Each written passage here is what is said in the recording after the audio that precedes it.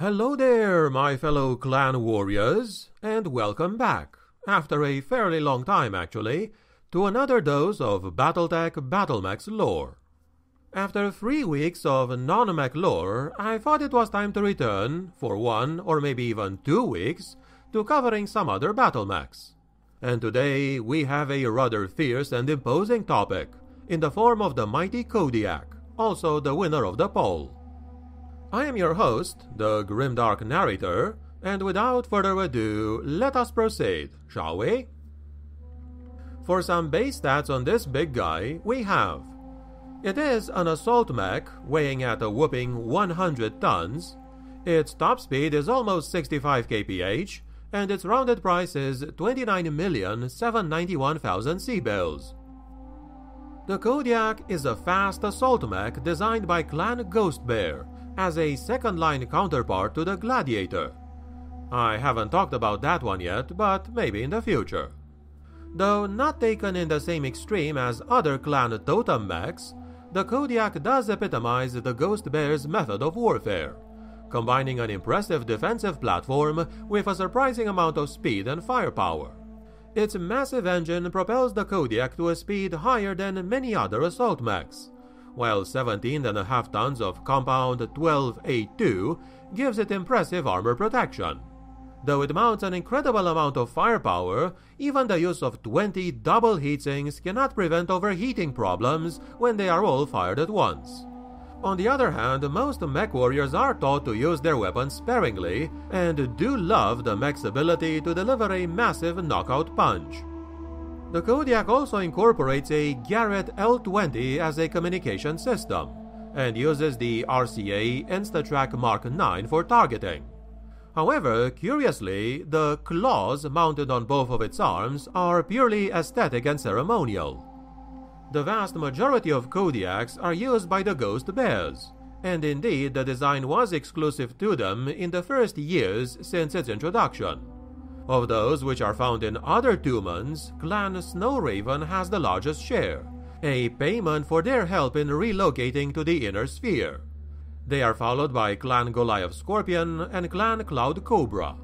Among the Crusader clans, though, only Ice Clan Hellion fields a handful of these battle.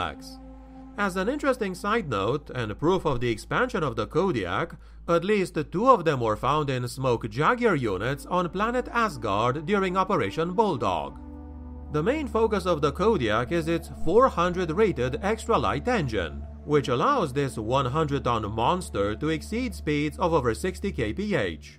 The main armament of the Kodiak consists primarily of a devastating short range weaponry, namely the single Series 2 Ultra Autocannon 20, occupying the entire right torso, and the twin Streak SRM 6s situated in the left torso. These powerful weapons enable the Kodiak to savage any foe, but considerable care must be taken with the limited ammunition at the mech warrior's disposal. The mech does supplement its primary weaponry with 8 Series 2A ER medium lasers, 4 above each hand set into a claw-like array.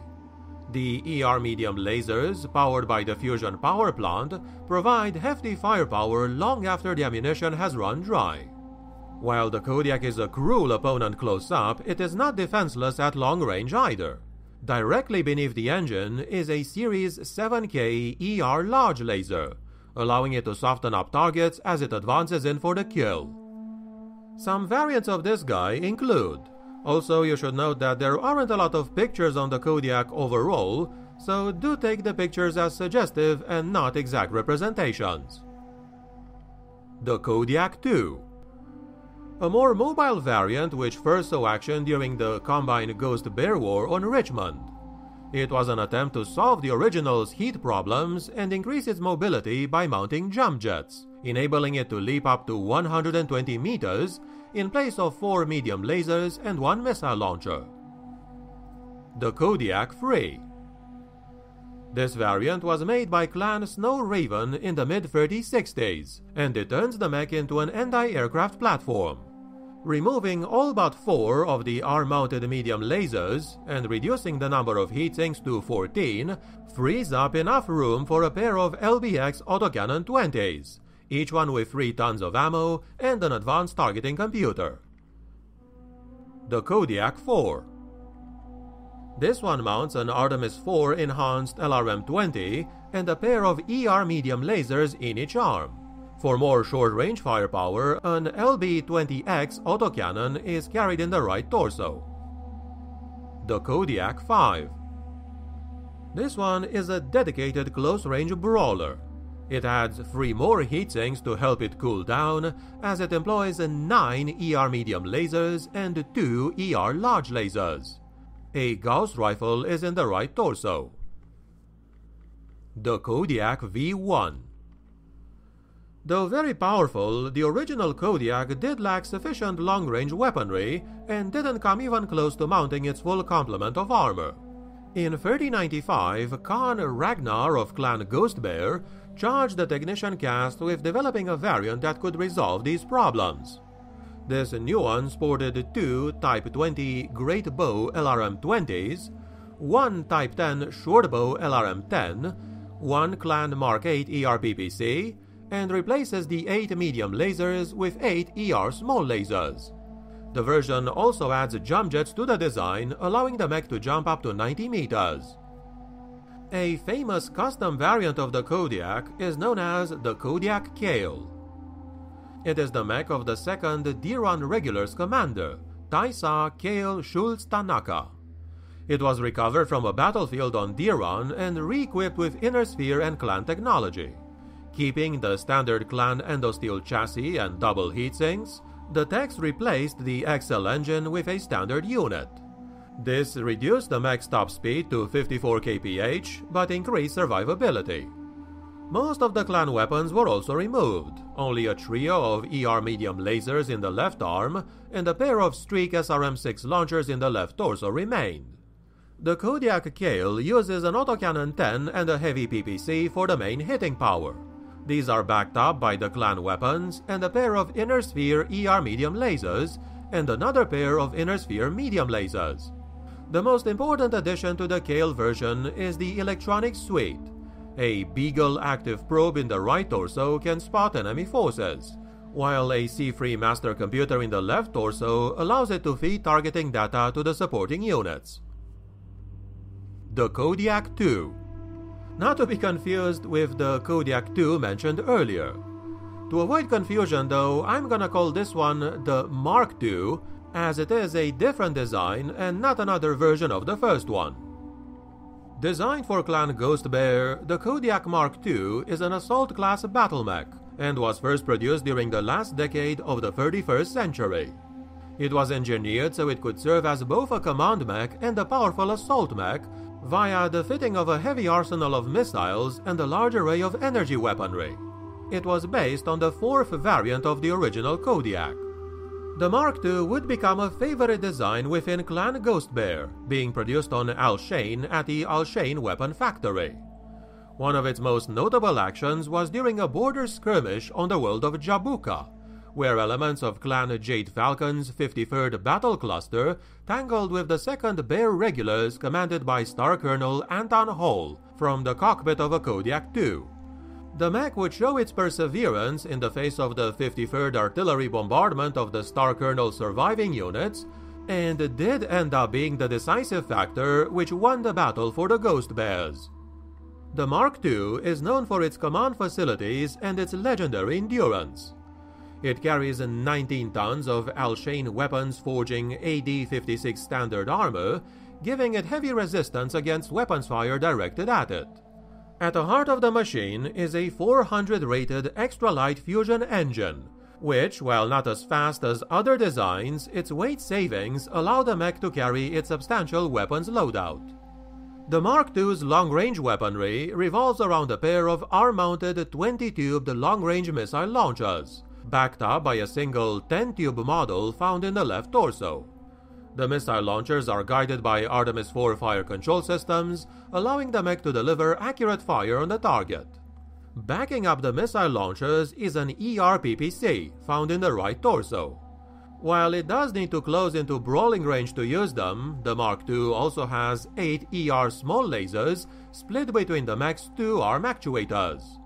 All the mech energy weapons are tied into a targeting computer in the center torso. Now, if their naming wasn't confusing enough already, there's also a second version of the Mark II, which for the sake of simplicity, we're gonna call the Mark II 2. The second variant of the Mark II is known for its resilience as well as its accurate weaponry. It was introduced in early 32nd century, and it utilizes a number of advanced technology, including free torso-mounted HarJel III self-repair systems. Aside from the inclusion of these, this version of the Mark II differs only slightly from the original. While retaining most of the mech weaponry and the targeting computer, its long-range weapons are swapped out for a pair of Streak LRM-20 launchers, while the 10-tube launcher is dropped. A notable pilot of this kind of mech is Star Captain Kaidan. This guy first gained notice as part of the 4th Novacat Regulars deep raid against the Alliance world of Lyon in 3063.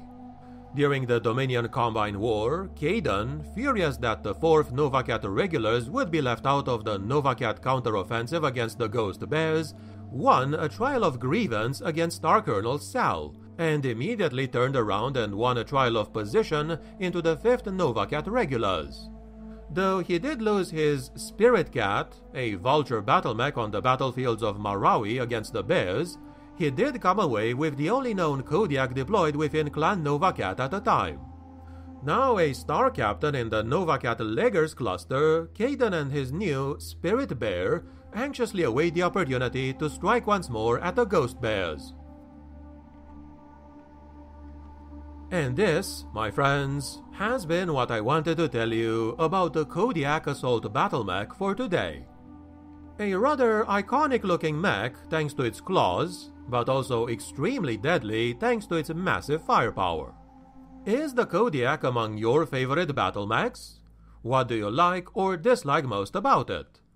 As always with these videos, you are very welcome to express any thoughts, opinions, and stories you may have on it in the comments below.